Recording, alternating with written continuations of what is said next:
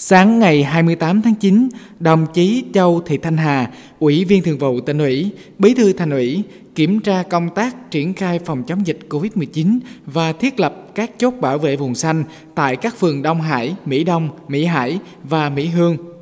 Kiểm tra tại các phường Đông Hải, Mỹ Đông, Mỹ Hải, đồng chí nhận định đây là ba địa phương có nguy cơ cao lây nhiễm COVID-19 trong cộng đồng, đặc biệt là phường Đông Hải đã phát hiện các trường hợp nghi nhiễm trong cộng đồng.